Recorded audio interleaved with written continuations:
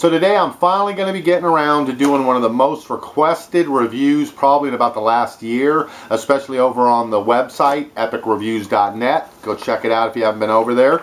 That's the address.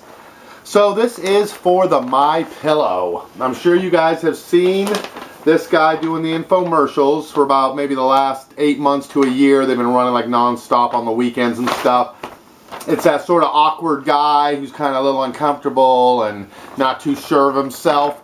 But anyways, I guess he's a pillow genius or something and has invented this new type of pillow fill that's supposed to lock in place and create support and blah de blah. You've seen the infomercials probably. The main reason I haven't done one up to this point is because these dang pillows were like a hundred bucks when they first came out. And I really didn't feel comfortable even recommending a hundred dollar pillow to people even if it was great you know? I mean I'm aware you can go to Macy's or Nordstrom's and you can get hundred dollar pillows but then you're talking about thousand thread count and silk and stuff. Where this you're actually just paying for the functionality of the pillows. I actually found they now make a travel version of it. It comes with a little carrying case and now the overall price of the My Pillows come down significantly. I think you can get them now for $59.95. Um, I'll put a link underneath this website where you can get it for, like I said, under 60 bucks right now or like at least right around there. So they have come down quite a bit on price, but that's still fairly expensive just to try out a pillow if you're not sure if it's going to work for you or not but they recently have released a travel version of it. So this was only $29.95. Now I've done the reviews for the Sobakawa pillow and the Side Sleeper Pro and the Total pillow, but those were like $20 pillows. You know, that's a whole different range than spending, like I said, 50, 60 bucks. But this travel version is only $29.99. A little pricey for a travel pillow, but it gave me a chance to try it out. And it uses the same filler and everything, the antimicrobial, um, hypoallergenic filler that he has basically the patent on. So to give me a chance to see how it actually works, how the support and things, and if I like it enough, then I'll go ahead and I'll buy the big full-size one. So let's crack it out. And then it's got your little handy carrying case here for trips and things. And then it's sort of set and wrapped up. Now there is no pillowcase or anything with this, so you're going to have to get your own pillowcase, but it's pretty nice. It's got its own logo and everything all around it. It's kind of flattened out from the trip, so I'm going to fluff it up a little bit, and we're going to see how this feels.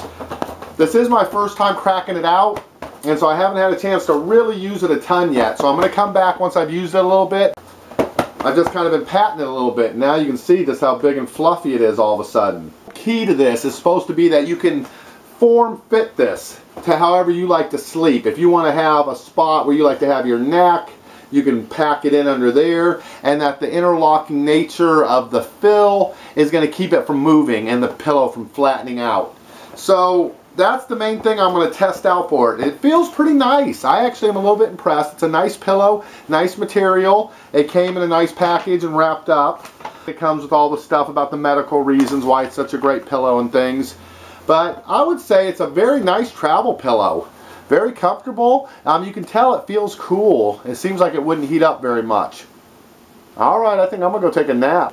Hey guys, so I just got done taking a nap with this My Pillow, and I had to do that for you guys so I could give you my honest opinion on how it worked. Sometimes you just got to put in the hard work, man. so I went ahead and did that nap. And I'm actually pretty impressed. This is actually a really comfortable pillow. I think this would actually make a really nice um, travel pillow. I took a nap here on the couch and the arm of the couch here is kind of hard. It's like a hard, you know, piece of wood inside of there. And usually no matter what pillow I use, if I take a nap on that arm, it always kind of hurts my jaw a little bit, you know, because it's so hard. And with this pillow, I really noticed when I woke up, I didn't feel any pressure or anything on the side of my face. So I can see what they mean about how much support this thing really has. Um, you can see how much fatter it is now from the beginning of the video, if you guys remember that from like three minutes ago. The key with it, I think, is whether you're somebody who likes a firmer pillow or somebody who really wants a soft, squishy pillow. Now, I'd heard that from some of the comments that people had made that if you have a ponytail or if you wear a bun or something in your hair that they actually would get a headache from this because it is so firm and you get so much support from it. Now I wouldn't exactly call it firm like the foam pillows because you can shape it. That's the whole key is you sort of mold it. You can mold it, you know, with more of a divot if you want, or else you can firm it out and really fluff it up thick in the middle if you want.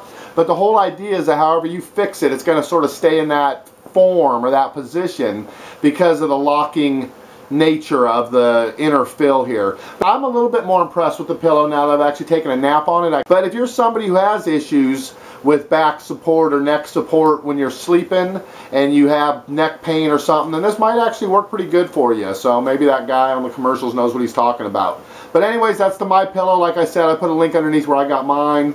So if you want to go check it out for yourself. All right, I'm going to go back to sleep, man. Catch you guys later.